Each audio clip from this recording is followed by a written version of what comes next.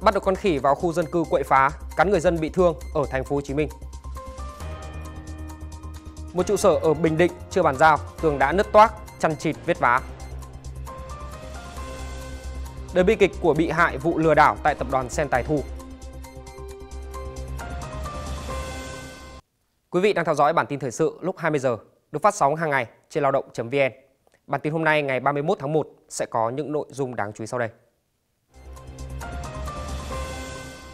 Ngày 31 tháng 1, lãnh đạo Ủy ban dân phường An Phú Đông, quận 12, thành phố Hồ Chí Minh cho biết, lực lượng chức năng vừa phối hợp với kiểm lâm bắn gây mê một con khỉ liên quan đến vụ cắn người mới xảy ra trên địa bàn. Trước đó con khỉ này thường xuyên quậy phá và cắn khi có người lại gần, khiến một số người bị thương. Do quá hung dữ và nguy hiểm, người dân đã cảnh báo đến cơ quan chức năng để tiến hành vây bắt. Sát ngày ông công ông táo, mặc dù hàng hóa được chuẩn bị bày bán đa dạng và giá cả ổn định, tuy nhiên, theo các tiểu thương tại một số chợ truyền thống ở Hà Nội, sức mua của người dân trong năm nay chỉ bằng 40 đến 50% so với năm ngoái. Nhiều tháng qua, tòa nhà trụ sở Ban Quản lý Khu Kinh tế tỉnh Bình Định dù chưa hoàn thiện việc nghiệm thu bàn giao nhưng đã đưa vào vận hành, sử dụng. Đang nói, tòa nhà này mới xây dựng nhưng đã lộ ra nhiều vết nứt ở cả trong và ngoài, khiến cho nhiều người hoài nghi về chất lượng công trình. Lý giải về vấn đề trên, ông Đặng Vĩnh Sơn, trưởng ban quản lý khu kinh tế tỉnh Bình Định cho biết, nguyên nhân là do công trình được sử dụng gạch không nung nhưng sẽ không ảnh hưởng đến kết cấu của công trình.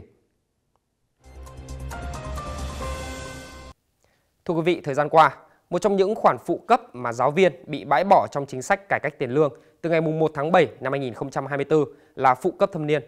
Điều này đã khiến cho nhiều giáo viên chăn trở. Mời quý vị chúng ta cùng lắng nghe những chia sẻ ngay sau đây.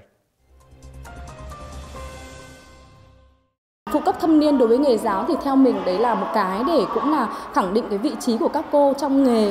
Đấy là các cô đã trải qua rất là nhiều năm và gắn bó cũng như sự cống hiến với giáo dục. Và vì thế mà bỏ đi cái phụ cấp thâm niên cũng là một cái điều tiếc nuối. Bởi vì là giáo cấp, cái phụ cấp thâm niên đấy dù là không nhiều, nhưng nó cũng là một sự tri ân và cũng là một ờ, cái đánh dấu những cái cái mốc thời gian mà giáo viên đã cống hiến trong nghề. Với lần cải cách tiền lương sắp tới, nhiều giáo viên kỳ vọng đồng lương được cải thiện để thầy cô có thể yên tâm công tác, cống hiến lâu dài với nghề và không còn canh cánh mối lo cơm áo gạo tiền.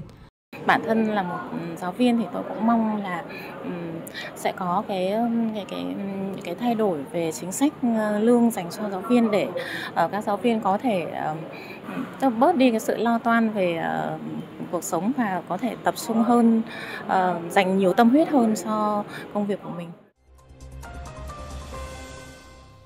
Thưa quý vị, những ngày cận Tết, nhu cầu vay tiền để giải quyết công việc của người dân tăng cao. Rất nhiều tổ chức tín dụng đen núp dưới vỏ bọc công ty tài chính nhằm quảng cáo, dán tờ rơi ở khắp nơi, đánh lừa người vay nhẹ dạ bằng mác cho vay từ ngân hàng thật. Và dĩ nhiên, những nạn nhân đã vay tiền thì cũng sẽ bị đòi bằng nhiều hình thức hạp dọa. Mời quý vị cùng theo dõi phần ghi nhận sau. Đây là 6 đối tượng ngụ tỉnh Thanh Hóa và thành phố Hà Nội đã bị công an bắt và củng cố hồ sơ để khởi tố về hành vi cho vay nặng lãi trong giao dịch dân sự. Các đối tượng vào Kiên Giang thuê nhà ở, in danh thiếp mang rải ở những khu vực đông dân cư, khu công nghiệp, khu đông công nhân người lao động. Khi khách có nhu cầu vay sẽ được nhận tiền nhanh chóng không cần thế chấp tài sản gì. Tùy vào tình hình và năng lực của người vay, chúng sẽ quyết định cho vay tiền đứng hay tiền góp với lãi suất cao đến 365% một năm. Lúc đầu thì là mấy anh thì nói chuyện ngọt ngào lắm mình như là nói chuyện thu hút á. Nhưng sau này á thì tôi góp khoảng được 5 ngày. Thì à, khả năng tôi không còn góp nổi nữa. Rồi tôi mới năn nỉ mấy anh. Nhưng không cho thì lúc đó là có lời hăm dọ đe dọa. Điện thoại cho tôi là dùng những cái ngôn ngữ là phải nói là rất là thiếu tế nhị chửi bới và hăm dọ chí là đòi lại nhà hăm dọ cả gia đình. Lúc và tôi rất là sợ hãi. Không chỉ sợ hãi về bản thân mà sợ hãi về công việc và cả gia đình. Tiếp nối bản tin, mời quý vị cùng điểm qua một số thông tin nhanh nổi bật diễn ra trong ngày. Ủy ban dân thành phố Hà Nội vừa ban hành quyết định số 2595 phê duyệt chỉ giới đường đỏ tuyến đường Đặng Thái Mai, quận Tây Hồ, giai đoạn 1, tỷ lệ 1 trên 500. Được biết tuyến đường dự kiến sẽ có chiều dài khoảng 1,3 km. Điểm đầu giao với đường Xuân Diệu, điểm cuối là khu biệt thự Tây Hồ. Tuyến đường sau khi hoàn thành được kỳ vọng sẽ giảm đáng kể việc ùn tắc tại khu vực này. Liên quan đến vụ án lừa đảo tại tập đoàn Sen Tài Thu, theo ghi nhận của lao động, nhiều bị hại của vụ án đang rơi vào tình trạng khốn đốn, bệnh nặng nhưng không có tiền chữa trị, hay thậm chí gia đình tan nát, vợ chồng bất hòa khi đầu tư vào Sen Tài Thu. Lễ trao tặng nghệ sĩ nhân dân, nghệ sĩ ưu tú dự kiến được tổ chức vào ngày 26 tháng 1, sau đó hoãn tới ngày 31 tháng 1 và hiện tại tiếp tục lại đổi lịch. Ông Nguyễn Danh Hoàng Việt, tránh văn phòng, người phát ngôn Bộ Văn hóa Thể thao và Du lịch cho biết, buổi lễ này được hoãn lại và chuyển sang một ngày khác vì lý do bất khả kháng.